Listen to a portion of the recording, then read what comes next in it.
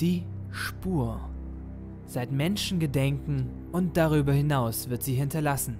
Sie ist Zeuge, Vermittler oder Prophet einer Handlung, eines Umstandes, eines Ereignisses. Ohne sie wüssten wir nichts von riesigen Urgestalten, den Totenkult des alten Ägyptens. Sie ist das versiffte Badezimmer am Morgen, das an den Vorgänger erinnert, das Knöllchen gegen Falschparken oder der weiße Streifen am Ringfinger, der von einer gescheiterten Beziehung zeugt. Überall werden gewollt oder ungewollt Spuren hinterlassen. Spuren verweisen auf das, was war, das, was ist und sogar auf das, was noch sein wird. Und da alles eine Spur ist, sind auch wir nur ein Verweis. Jacques Derrida war ein französischer Philosoph und Menschenrechtler. Er gilt als Hauptvertreter der Dekonstruktion. Die Dekonstruktion ist eine Methode, die die Verstehens- und Geltungsbedingungen eines Textes analysiert. Also die Umstände, die dafür verantwortlich sind, wie ein Text auf den Leser wirkt. Derridas Auffassung nach ist die Schrift eine Spur, und zwar eine Spur unbekannten Ursprungs. Grundlage seiner Überlegungen ist die Annahme, dass Sprache keine klare Materialisierung vom übergeordneten Sinn sein kann.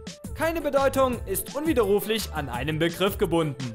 Eine Bedeutung, die wir einen Begriff zuordnen, ist vielmehr Ergebnis eines Verstehensprozesses. Welche Bedeutung wir einem Bild zuordnen, ist von Person zu Person unterschiedlich.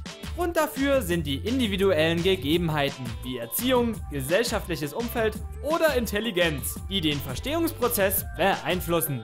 Da sich niemand perfekt in die Lage des anderen versetzen kann, kann also auch niemand behaupten, er würde den Gegenüber genau verstehen.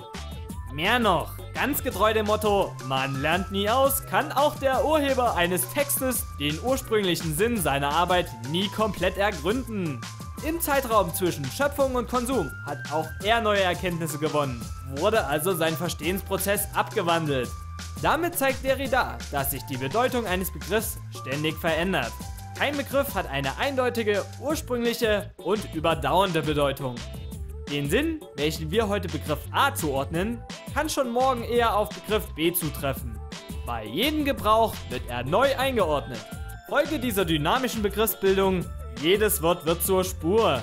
Es verweist nicht nur auf die gegenwärtige, sondern auch auf die vergangene und zukünftige Bedeutung.